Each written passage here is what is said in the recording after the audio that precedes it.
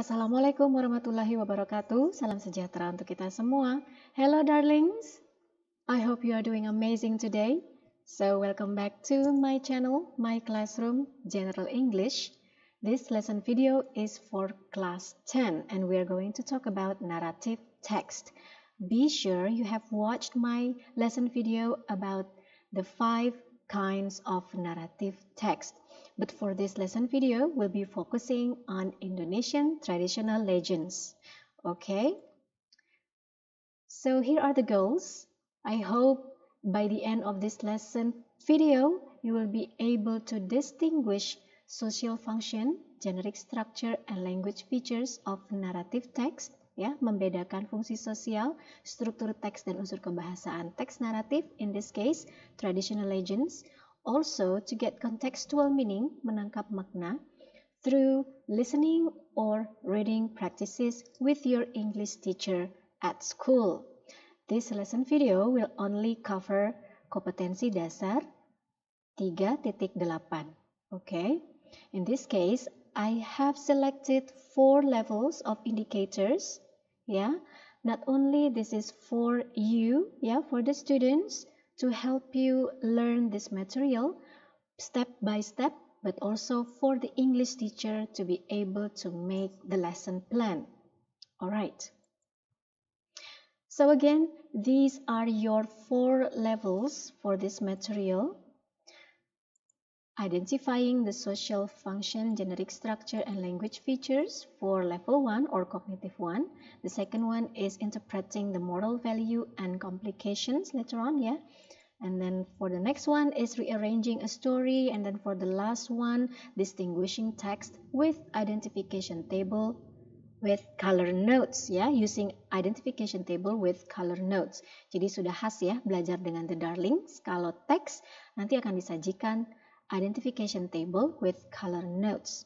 So, let's move on to your first indicator, level 1.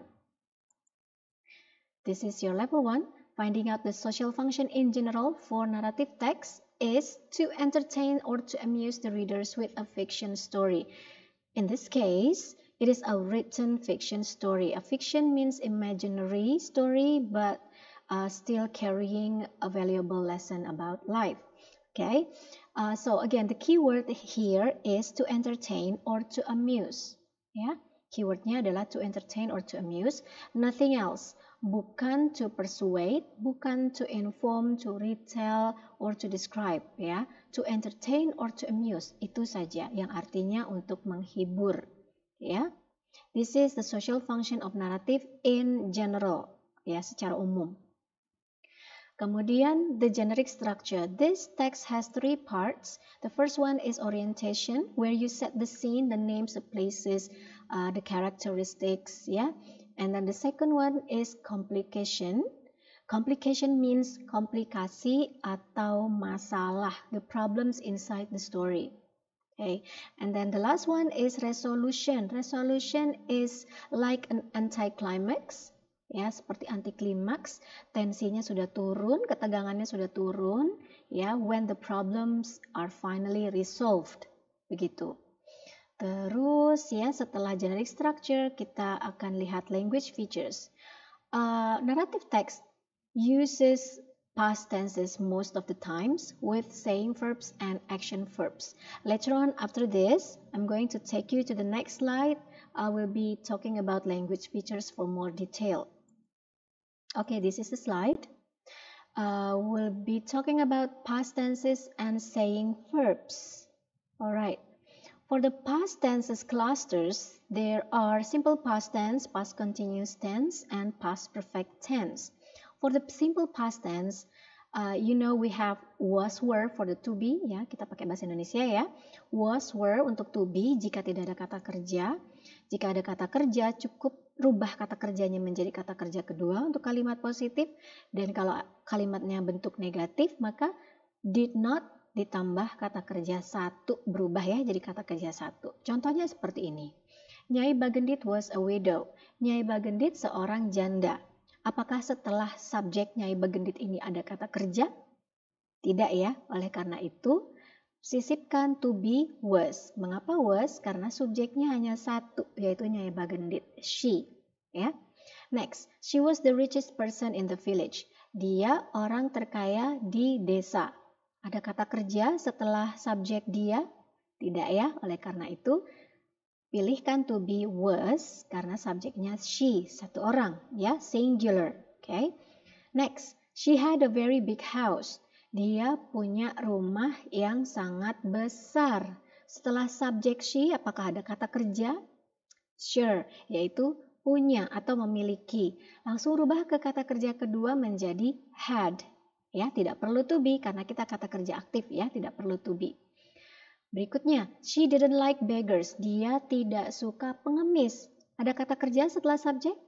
Ada, yaitu suka, namun dalam bentuk negatif. Oleh karena itu, kata kerja tetap bentuk satu, tambahkan did not sebelumnya. She didn't like. Ya, berikutnya she thought that. Berhenti sampai situ ya. Dia berpikir bahwa ada kata kerja? Yes, yaitu berpikir ya. Langsung saja dirubah menjadi thought. Oke, okay, next. Pengemis, pengemis adalah orang-orang yang malas. Ada kata kerja? Tidak ya. Oleh karena itu, kita sisipkan to be untuk plural ya kali ini yaitu beggars. Beggars di sini plural karena lebih dari satu ada s-nya nih ya. Jadinya were bukan was karena was untuk singular. Oke, itu untuk past tense. Mudah-mudahan paham ya. Uh, what about past continuous tense? Past continuous tense is uh, you use this to describe an activity which is in progress but is in the past ya itu sesuatu untuk menggambarkan kejadian yang berlangsung di masa lalu. Kalau diterjemahkan menjadi sedang. Sedang bertarung sedang uh, sedang berjalan ya sedang berjualan. Nah seperti itu. Contohnya di sini Jaka Tarub was hunting. Jaka Tarub sedang berburu. Because the subject is Jaka Tarub is one singular maka to be-nya was Kata kerja satu tambahkan ing jadi was hunting. The second example is the seven asparas were bathing. Tujuh bidadari sedang mandi, sedang mandi, sedang ya. Nah, oleh karena itu to be-nya pilihkan yang were, yang plural karena subjeknya lebih dari satu. Asparas itu bidadari. Oke, paham di sini ya. Next one is past perfect tense. Past perfect tense itu kalau diterjemahkan menjadi telah ya. Kalau past continuous sedang, kalau past perfect telah. Di sini kita pakai had plus verb 3. Kita main verb 3 ya, kata kerja ketiga. Kalau ada kata kerja, bagaimana kalau tidak ada kata kerja, adanya kata sifat dan kata keterangan, adjective dan adverb. Kamu uh, tambahkan had been di depannya. Had been ya. Di sini contohnya menggunakan kata kerja ya. Nawang Wulan forgot where she had left her shawl. Nawang Wulan lupa di mana dia telah meninggalkan uh, selendangnya. Left di sini kata kerja ketiga ya.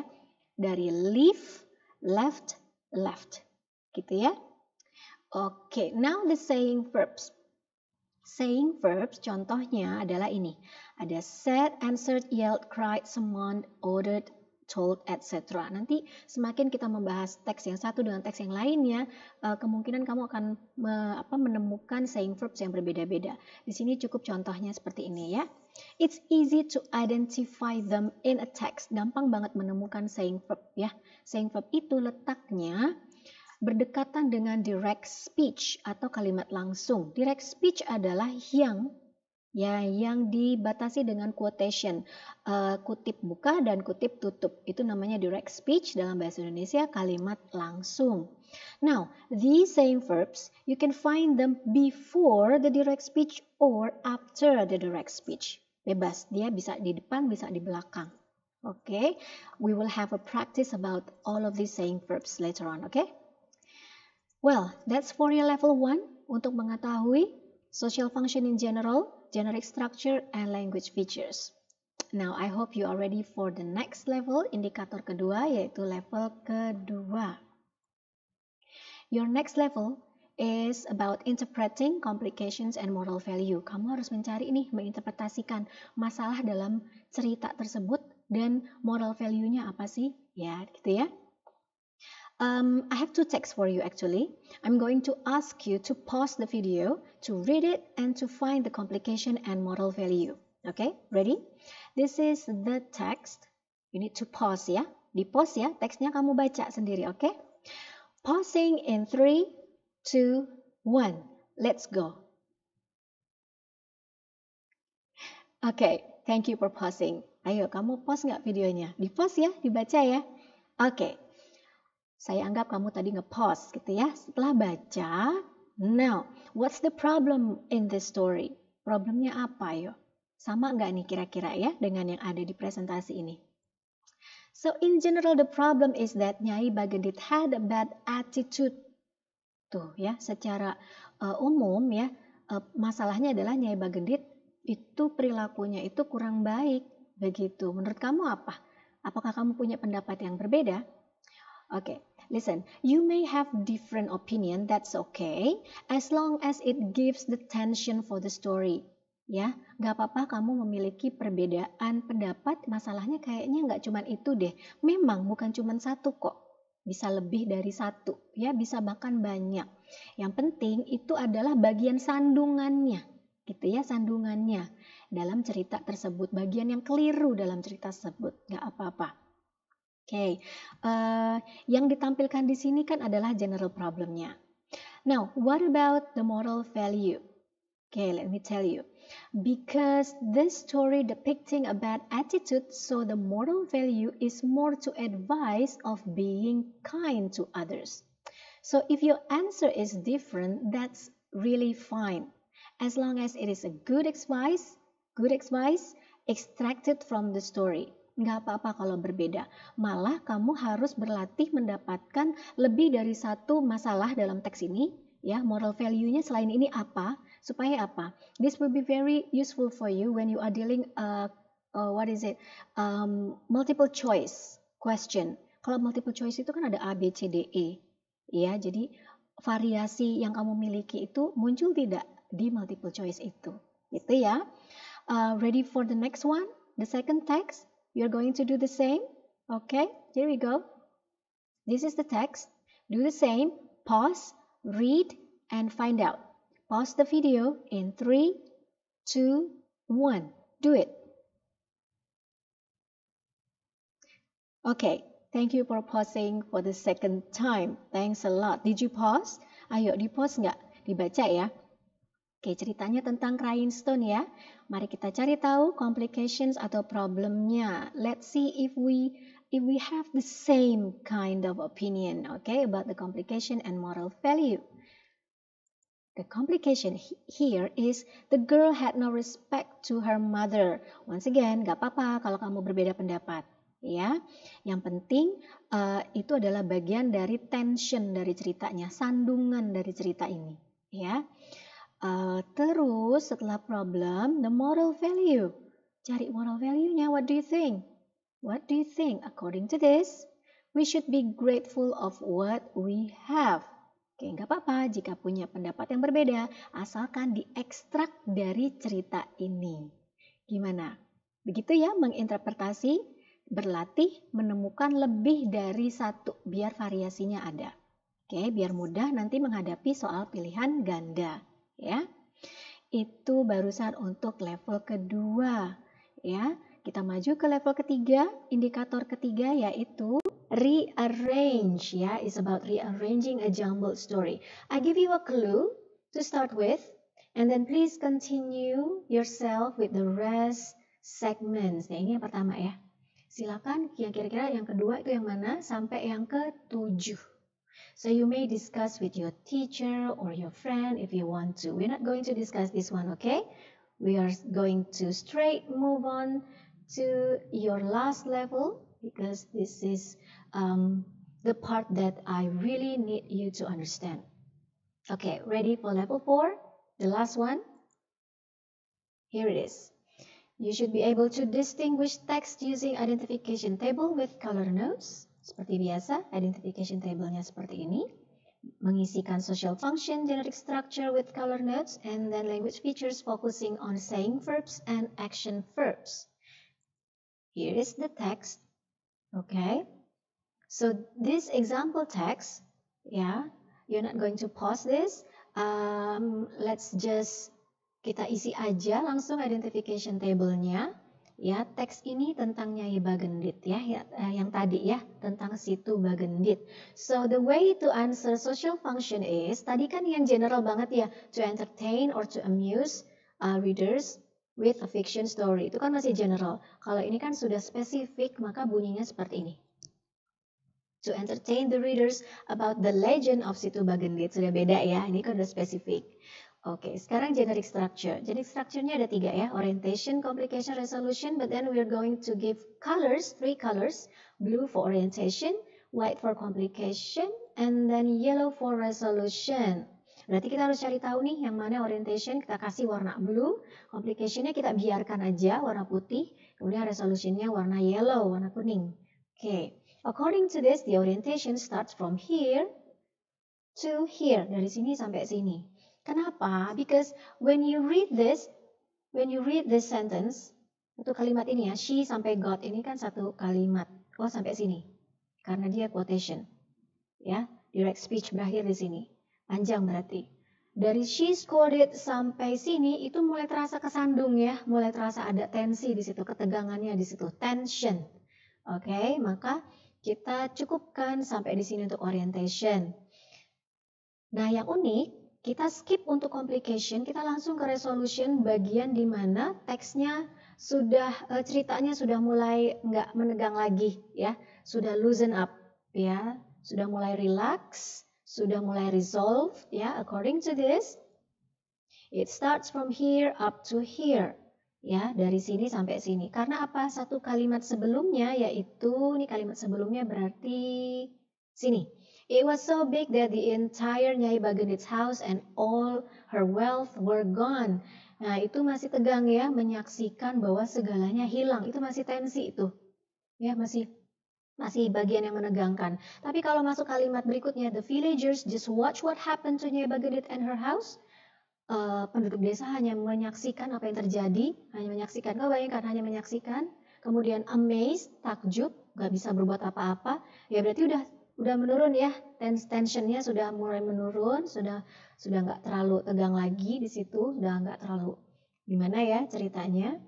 Uh, slowly the place where Nyai Bagin's house sampai terakhir sudah dipastikan itu resolution. Jadi begini informasinya so you see living in the middle as white automatically as the complication. Ya jadi carinya itu kita langsung lompat aja. Gitu ya mudah-mudahan paham Now, saying verbs and action verbs. Remember, uh, to locate saying verbs, you need to find, it's easy, yeah? You need to find uh, direct speech, yeah? We have one direct speech over here with quotation from here to here and another one from here to here. Nah, kita lihat. Untuk saying verbs-nya, dia ada di depan berarti sebelum, before, said.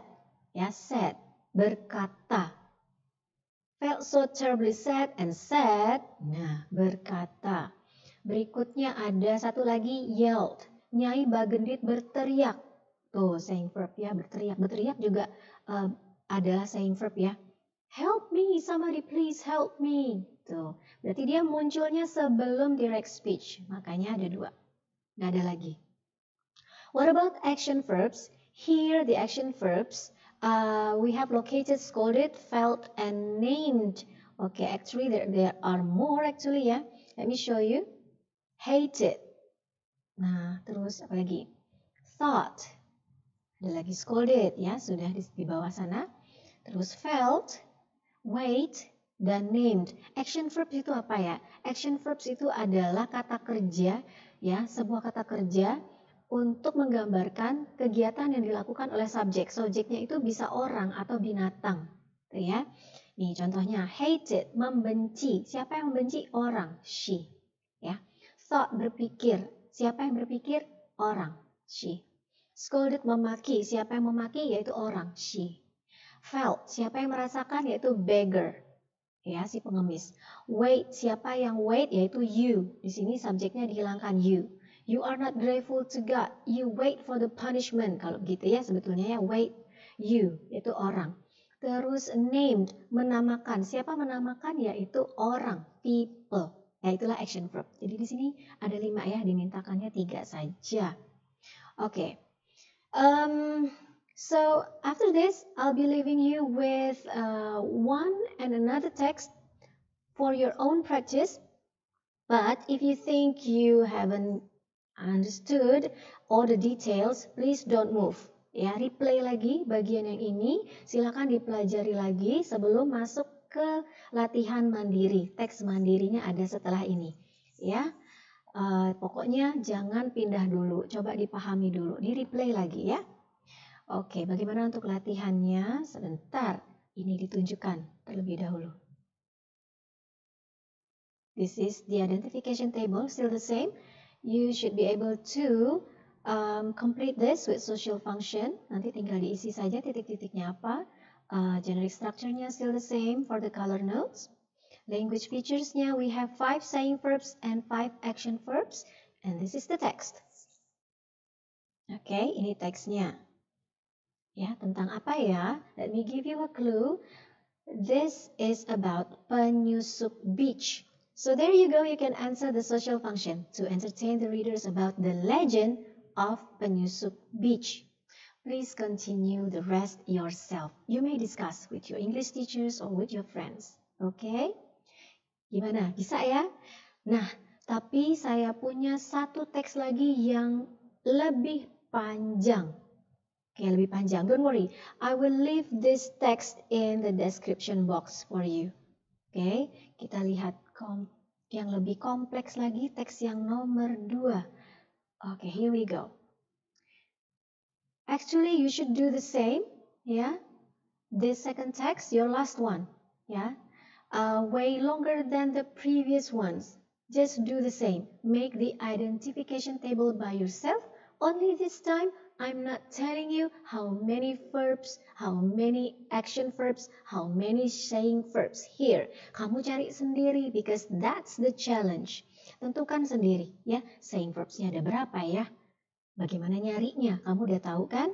Terus action verbsnya yang mana ya? Bagaimana mencarinya? Kamu sudah tahu. That's the challenge. Okay, find out yourself. Let me know your findings in the comments. So good luck. Okay, well done. Congratulations. I'm so happy. I'm so glad you made it. This is the end of our lesson. Be sure by now you should be able to identify the SFGS and LF of narrative text in general, interpret complications and moral values, rearrange jumbled narrative text, and then the last one, to distinguish narrative text using identification table with color notes. Oke, bahkan yang terakhir tuh teksnya lumayan panjang. Semuanya masih misteri. Saying verbnya misteri, action verbnya misteri. Okay, congratulations. Thank you so much for watching, learning with me, being on the entire lesson video with me. I hope this helps you a lot. See you on my next lesson video. All the best for you. Wassalamualaikum warahmatullahi wabarakatuh. Salam sejahtera untuk kita semua. Bye-bye. Stay motivated, everyone. See you.